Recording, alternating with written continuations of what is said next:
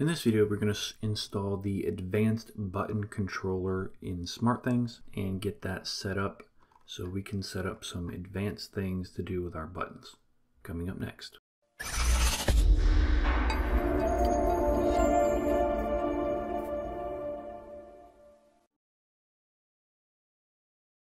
Hi, this is Justin from Simply Smart, where we make smart home technology as easy as one, two, three.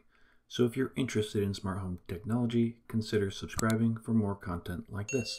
What we're going to do is install this custom smart app from GitHub and we're going to install that into our SmartThings and I'm going to show you on the phone what all the options are in the app.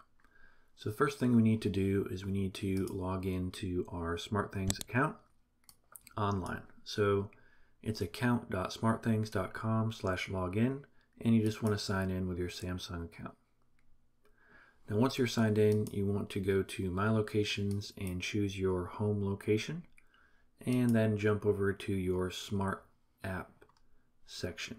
Okay, now in the Smart App section, um, if you don't have this menu up here, I'm going to leave a link on how to get the GitHub integration set up because it would be a lot easier to um, install this. So I'm going to go ahead and use the GitHub integration to install this.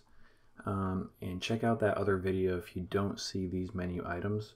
And then I'm going to show you the manual way to do it real quick afterwards. So the first thing we're going to do is you need to go into your settings and you need to add this here. These three items are coming right from the GitHub with the username, the name of the basically the folder, and the branch. So that one, that one, and that one. And that's where we're getting this information here. So I'll leave all this in the video description below. And once you get that set up, you just want to click the Save button.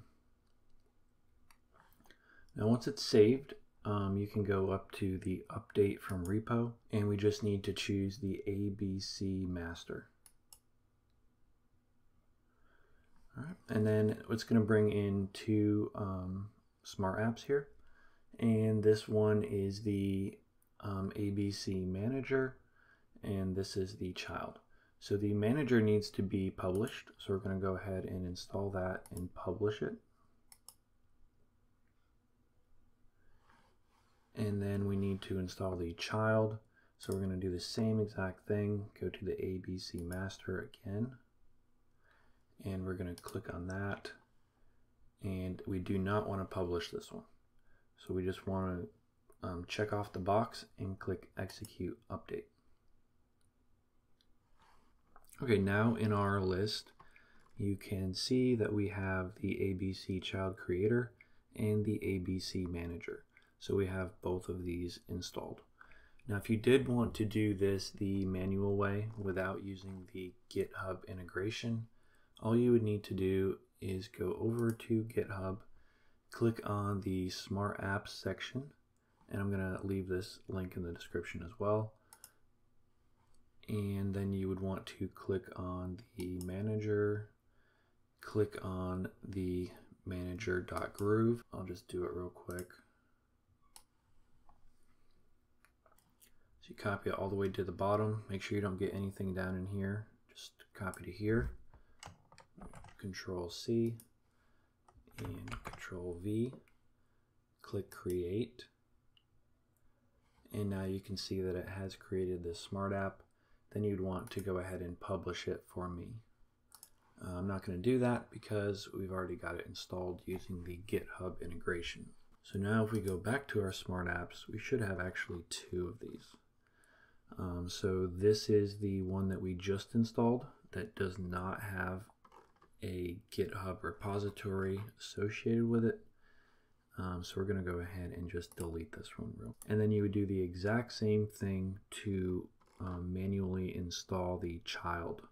So you'd come over here, go back, go into the child creator, click on this, copy and paste the code, and you can see right at the top it says do not publish. So you do not want to publish this one, you just need to install it. All right, well now that we have um, these two smart apps set up here, now we can open up our phone and start using them. So let's go ahead and jump over to our phone. Okay, so now we are on our SmartThings Classic app. And what you'd want to do is go over to your marketplace and go down to My Apps. Now, the ABC Manager does now show up in our top of our list. And we can tap on that and you can read about it a little bit, what's included, um, everything that it can do, and some special things for some special buttons here. So we're going to go ahead and hit done, and then all we want to do is hit save. Now once you have done that um, under the marketplace and smart apps, now when you go back over to automation and the smart apps tab, you will then be able to see the ABC manager under your smart apps. So when we go into there and um, you have basically the exact same stuff that we just saw, but now it's just showing in a different section of the app and it's able to actually set up automations. So now you can go to new device mapping and then you would want to choose your button. So it's only going to show you um, items that can be used as a button. Um, so if I choose, say I choose this kitchen button, you can see that it's only going to bring in one button because that particular device is only one press button. So you can press it to turn something on, you can press it again to turn something off, and then you can hold it to turn something on, and you can hold it to turn something off.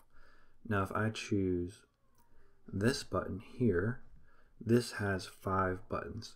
So you can press it once, press it twice, press it three times, press it four times, or press it five times, or hold it. So it actually does have six um, potential things that it can do. So just keep that in mind. If yours looks different, it's all depending on the actual button that you have installed in SmartThings that you choose up here. So let's just choose the kitchen button because it's a little simpler. And then what you'd want to do is configure your buttons. So under step one is choosing your button. Step two is configure your buttons. So we're just going to choose number one. And then you can do all of these different things. So you could have a switch turn on, a switch turn off, a switch toggle on slash off. You can have dimmers, um, set to different levels. You can increase by certain um, levels or decrease. Um, you can control speakers. You can toggle sirens. You can lock locks. You can adjust fans. You can move shades up and down. You can set the mode. You can run routines. And you can do notifications. So there's all of that, all of those options under this one button press, which is just totally amazing, super simple to use, and it can get really complicated depending on what you want that one button to do. You could have lights turn on here, turn off over there, dim to certain levels, turn on music, all with the press of one button. So let's just do a real simple one. We're just going to say turn on a switch when pressed, and we're just going to choose our bar light and let's go ahead and um, do a switch to turn off the bar light. So we're going to choose when pressed, bar light.